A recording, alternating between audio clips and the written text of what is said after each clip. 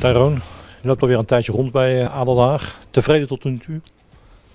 Mm, ik denk, uh, als ik kijk naar vorig seizoen, uh, de tweede seizoen zelf wel ja. Ik denk wel wat wedstrijden gespeeld en het ging ook goed. Maar dit seizoen nog niet. Je hebt natuurlijk aardig wat wedstrijden in de basis gestaan eind van het vorige seizoen. Dan wordt er een nieuwe rechtsback gehaald uit Argentinië. Wat denk je dan bij jezelf? ja, dat er een nieuwe concurrent bij is. En ja, in voetbal is dat normaal. Um, en uh, dan moet je gewoon de concurrentiestrijd aangaan. Uh, maar ja, als je dan op de bank begint, uh, is dat moeilijk. Maar het is nou eenmaal zo en ik moet ervoor zorgen dat ik er weer in kom te staan. Vorige week mocht je invallen. En je scoorde zowaar je eerste doelpunt in, in het betaalde voetbal. Op een positie die eigenlijk jouw positie niet is. Nee, klopt. ik heb er ook nog nooit op gestaan tijdens training of met jong of in de voorbereiding. En het kwam ook wel als een verrassing toen ik het hoorde tijdens uh, het warmlopen. En uh, ja, als ik er dan moet staan, dan uh, moet ik er ook gewoon staan en laten zien wat ik kan. En ik denk dat dat wel gelukt was. Met welke verwachtingen ging jij aan het nieuwe seizoen beginnen?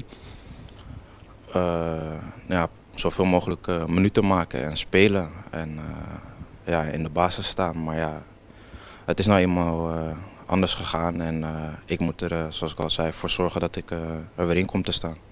Dat moet toch een teleurstelling zijn. Hoe ga je daarmee om?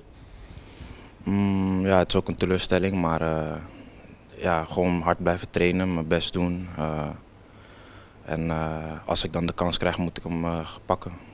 Andere trainer, vorig seizoen was Henk Vrezer trainer, van origine een verdediger. Petrovic is dat niet. Heb je dan voetbaltechnisch gezien meer een klik met Vrezer of met Petrovic?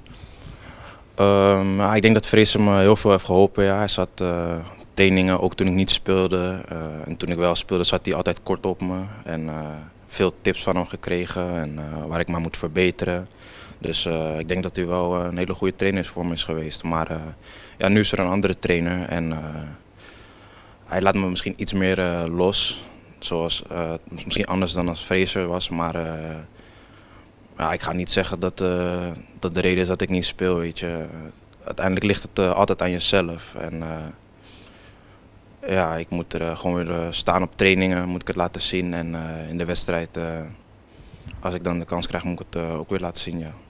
Een andere selectie, duidelijk allemaal een selectie als vorig seizoen. Meer buitenlandse jongens erbij. Hoe schat je deze selectie in ten opzichte van vorig seizoen? ik denk dat er vorig seizoen, of dit seizoen veel jongens weg zijn gegaan met ervaring. En, maar als ik kijk dan hoe de jong, nieuwe jongens uh, doen zeg maar, op de trainingen en uh, tijdens de wedstrijden, dan uh, ja, vind, vind, ik het wel positief.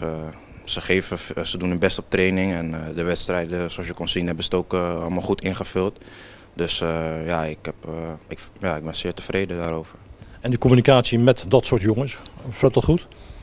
ja, de meeste jongens spreken ook gewoon Engels, op José maar ja, er is wel communicatie, weet je. Het lukt, uh, het komt altijd wel goed uit en uh, ja, er is niet uh, echt probleem qua communicatie, nee.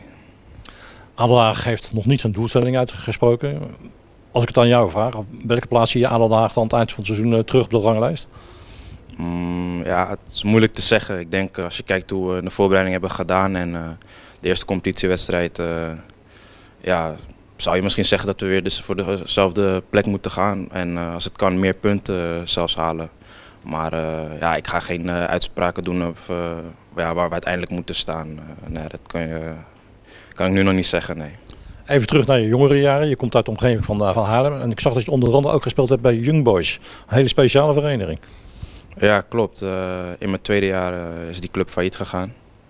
En ja, dat is jammer. Weet je, je wil gewoon voetballen. En uh, toen uh, ging het midden in het seizoen, uh, kreeg het horen dat, failliet, dat het failliet ging. En ja, dan ben je even zonder club. En ja, dat is natuurlijk nooit leuk.